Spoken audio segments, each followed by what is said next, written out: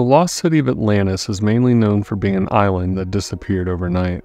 But what isn't known is that the city was more technologically advanced in some ways than we are even capable of today. Based on the account given, we have to ask ourselves did the city even exist? Was it a figment of a visionary's imagination? Or is there ancient technology that, if discovered, could change the course of humanity forever? Let's find this out together. The ancient Greek philosopher Plato, around 360 BCE, was the first to mention the lost city. Plato painted a picture of not just any island, but a utopia.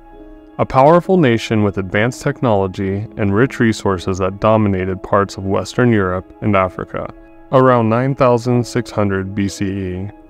However, Plato also described a dark turn. Consumed by greed, the Atlanteans met their demise, which led to a cataclysmic event that submerged the city into the depths of the ocean in a single day and night of misfortune. What could have caused this disaster? Was it a punishment from the gods, or a natural and unfortunate catastrophe? I'm your host, Jamie, and join me as we dive into the fascinating legend of the lost city of Atlantis. In his dialogues called Timaeus and Critias, Plato described the legend of Atlantis as a powerful civilization that vanished without a trace and sparked debate for millennia. One of the most intriguing things about this mystery is that experts place Atlantis all across the globe, from the vast Atlantic Ocean to Antarctica and the Caribbean. Plato left a single clue about the location of Atlantis. In front of the Pillars of Hercules, an alleged reference to the Strait of Gibraltar that is close to the western edge of the Mediterranean. Despite modern technology, the search for Atlantis continues. One intriguing theory links Atlantis to the Minoan civilization, a real Bronze Age power that was centered around the island of Crete in the Aegean Sea. Around 3,600 years ago, a massive volcanic eruption on the nearby island of Thera, which is modern day Santorini, devastated the Minoans, with it reaching as far as the Orient. The eruption shockwaves and resulting tsunami could provide an explanation of the sudden demise described in Plato's account. Thera was also part of the Minoan Empire, which boasts a complex society and advanced architecture aligning with Plato's description of Atlantis' glory. While some scholars dismiss Plato's story entirely, the Minoan civilization offers a compelling possibility. Could a real civilization, which was tragically destroyed by a natural disaster, be the basis for the legend of Atlantis? As we delve deeper into the story of Atlantis, we aim to figure out the location and what caused its demise. Let's dive into some of the theories. The first theory suggests that a massive flood, possibly connected to the end of the Ice Age, thousands of years before Plato's time, occurred, wiping out most of humanity. It also suggests that Atlantis isn't about the specific location, but rather a distorted memory of the flood that destroyed civilizations around the world. And Plato's dialogue is just a mythical retelling of said event. Now, there have been numerous interpretations of this theory, and we're going to talk about three of them. One is from Graham Hancock, a presenter in the Netflix documentary Ancient Apocalypse. He proposes that the massive floods that destroyed Atlantis and engulfed the world was due to a giant comet striking the Earth. His argument includes the inspiration of the legend and that survivors from Atlantis were the ones who had spread the tale passed down from generation to generation. Another interpretation is from geologists, as they believe that the link between Atlantis and a real world event is the Meltwater Pulse 1b. Now, Meltwater Pulse 1b was a catastrophic sea rise that took place around 9600 BC, which coincides with Plato's description of when Atlantis had fallen. The last interpretation points towards the massive volcanic eruption in Santorini, Greece, around 1630 BC as the one that caused Atlantis' destruction and eventual sinking. Now, the impact of this eruption was powerful enough that it left behind the geological and archaeological evidence that highly matches with Plato's description of Atlantis' demise. Records show that the eruption of Thera was one of the largest volcanic eruptions in the Holocene epoch. Amidst this, Akrotiri, a city that had been buried, became one of the key archaeological sites of the second millennium BCE. This eruption was considered a pivotal event in the prehistory of the Aegean and East Mediterranean region. Could Santorini actually be the lost city of Atlantis, hiding in plain sight? Interestingly enough, Plato's description of Atlantis' landscape is eerily similar to Thera's topography in ships described in Achates' paintings, which highly resembles those from the story of Atlantis. Even more, cultural similarities exist between the Minoan civilization of Santorini and Plato's Atlanteans. The different interpretations from varied accounts share different explanations for the flooding that led to Atlantis' demise, ranging from cosmic events like comet strikes to geological disasters akin to volcanic eruptions. However, which of these, if any, holds the most weight? The next theory, proposed by the late Charles Hapgood, throws us for a loop as it defies what we know about Atlantis up until this point. This theory suggests that Atlantis wasn't a tropical paradise, but a landmass in a more temperate Antarctica.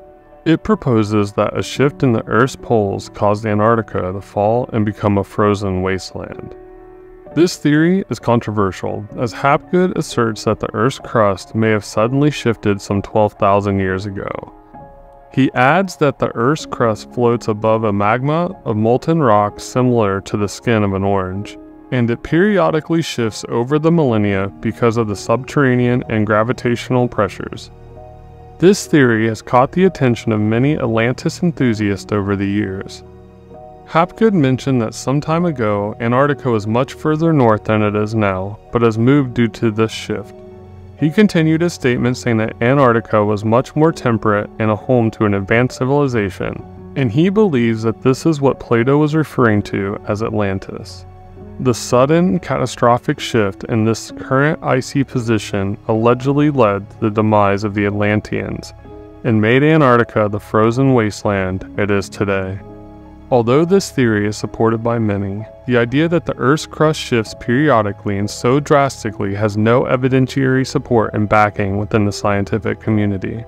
It is also denoted that this theory was proposed by Hapgood at a time where we were still unable to grasp a full understanding on the nature of plate tectonics. Without having the knowledge we have today, it makes it hard to trust this hypothesis. With the information he had at the time, he proposed an educated guess on what happened to the lost city.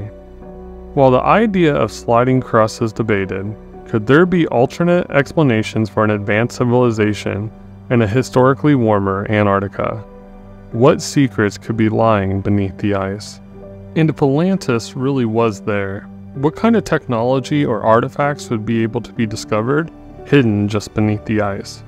The third theory proposes that Atlantis was part of one of two lost continents. This theory claims that Atlantis was part of a lost continent called Lemuria, believed to have been located in the Indian Ocean or the lost continent of Mu, believed to have been located in the Pacific Ocean. This theory suggests that these two land masses allegedly sank, engulfed by the waves, leaving Atlantis as a fragment of a forgotten world. Now, this theory is fascinating as it introduces us to a concept that intertwines two legendary lost lands. Let's recount what we have discovered so far. We know that Atlantis was described by Plato to be a great island civilization located beyond the Pillars of Hercules. On the other hand, Lemuria is hypothesized as a lost continent that is located in the Indian Ocean and by some accounts from the Pacific. While Atlantis was pictured as an advanced civilization, it was alleged that it fell through divine retribution. Lemuria was described as a land bridge that linked different regions and was said to be inhabited by large reptilian humanoids referred to as Lemurians, who possessed advanced technology and telepathic abilities. In 1864, the theory of Lemuria was first proposed by zoologist Philip Lutley Sclater. His aim was to explain the distribution of lemurs and other small, primitive, tree dwelling mammals in Africa, Madagascar, India, and Southeast Asia. Lemuria was derived from the Latin word for lemurs. Later on, German naturalist Ernst Haeckel expanded on the concept of Lemuria and suggested the existence of an ancient continent called Lemuria in his controversial detailing of Darwin's theories, even so far as suggesting it's the potential birthplace of the human race. With that, we are left to wonder how Atlantis could possibly be related to Lemuria, giving the stark differences between the two. This is where Helena Blavatsky, a Russian mystic and the founder of Theosophy, enters the picture as she explores the connection between the two in her book, The Secret Doctrine, in 1888. Firstly, Blavatsky believed that both Atlantis and Lemuria were indeed real places that existed at some point. She also believed that Lemuria was older than Atlantis and was located in the Pacific. She believed that it served as the cradle of humanity. In Blavatsky's writings, she suggested that isolated pockets of Atlanteans were able to survive and eventually form new societies in Egypt and in the Americas after the destruction of their land. Thus, Blavatsky connected the two lands by denoting that Lemuria was the original home of humanity before Atlanteans appeared. She believes that Atlanteans evolved from Lemurians. She further backs her claims by stating that Atlantis was a civilization in the Atlantic Ocean that was destroyed due to the misuse of psychic powers and advanced technology. Many believe in her theory, as she links the histories of the two lost lands and presents them as integral parts of humanity's evolutionary journey. Moving forward to the other lost continent in this theory, we have Mu. Now, Mu and Lemuria are sometimes used interchangeably and considered by some as one and the same. But here we are to offer another perception. While they do share some similarities, Lemuria was theorized to be in the Indian Ocean, while Mu was claimed to be in the Pacific Ocean. Lemuria also had a basis in scientific theory before being appropriated by esoteric beliefs, whereas Mu was primarily an esoteric concept from its inception. The theory of Atlantis being a part of the lost continent of Mu was proposed by Augustus Le Plongeon, a British American antiquarian his assumptions were not based on science, but the description of Lemuria and later on some alleged artifacts. According to Augustus, Mu was a lost continent found in the Pacific Ocean, which was the birthplace of civilization and the roots of Mayan culture. Augustus firmly believed that the Mayans founded the Egyptian civilization. He supports his claims as he allegedly found evidence of this link during his archaeological explorations in Yucatan, Mexico, in 1896, Augustus later published his theories and speculations in his book Queen Mu and the Egyptian Sphinx. However, Augustus's theories were inherently dismissed by mainstream archaeologists and historians as they considered them to be unfounded and lacking in factual, verifiable evidence. In 1926, this concept was taken to an entirely new level by James Churchward, a British writer, inventor, engineer, and fisherman in his book, The Lost Continent of Mu, The Motherland of Men, Churchward came forward claiming to have seen the ancient clay tablets in India and the Niven tablets discovered in Mexico. These tablets allegedly told tales about the ancient land of Mu. However, no evidence was ever found that these tablets existed. Skeptics claim that he was only claiming to have seen them to sell more books. Nonetheless, these two concepts continue to intrigue and inspire numerous interpretations in literature, pseudoscience, and pop culture. Both remain associated with Atlantis due to the similar descriptions and culture. With technology constantly being developed, we are left to wonder will we ever find evidence of Atlantis, Lemuria, or even Mu? That is, if these three lost civilizations are indeed real. Now, this theory is quite intriguing as well. Aside from not one specific individual proposing it, many theorists believe that the Bermuda Triangle is closely associated with the lost city. Circling back, this theory suggests that Atlantis was swallowed by the Bermuda Triangle. This belief assumes that the Bermuda Triangle, an area between Florida, Puerto Rico, and Bermuda, is the location of Atlantis. The Bermuda Triangle is a location known for its various anomalies and mysterious disappearances.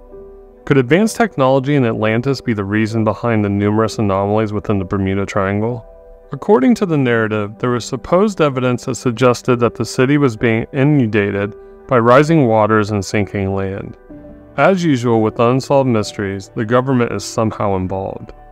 In the 1960s, it was said that the US government actually discovered an alleged place during the Cuban Missile Crisis, when nuclear submarines cruising in the Gulf discovered pyramid like structures. This led to the site being closed down and monitored to prevent it from falling into the wrong hands. As with the discovery of the pyramid structures, this theory also suggests they found sphinxes and stones that were arranged in a similar manner to that of Stonehenge. These stones allegedly had a written language engraved into them which suggests clues of an ancient civilization. As interesting as this theory may be, nothing is set in stone. As with all other theories, the lack of concrete evidence remains. Historians and scientists highly believe that Plato's account of Atlantis was purely a fabrication. Here's why. First, they believe that Atlantis was just Plato's made up story about a utopia gone wrong. With his background as a philosopher, his story could have been a warning against societal arrogance and the potential consequences of divine punishment. There's no evidence of Atlantis outside of Plato's dialogues and no mention of it in other Greek texts. Second, the search always comes up empty. With the advancements in technology, it is hard to believe that we haven't found any definite proof of the city by now. But it is believed that we've only explored between 5 and 20% of the ocean, so even with the technology we have, it is obviously possible that we have missed something. Another thing is that the timeline is just impossible. Plato described that Atlantis' demise took place around 11,600 years ago, However, archaeological records show that the first ever civilization in the Mediterranean emerged much later. This enormous discrepancy casts another layer of doubt on the authenticity of the legend. Plato's account involved gods like Zeus and Poseidon directly communicating and interacting with humans. While the premise of these events would be a very interesting story to share, this information only strengthens the argument that Atlantis is nothing more than a myth rather than a historical account.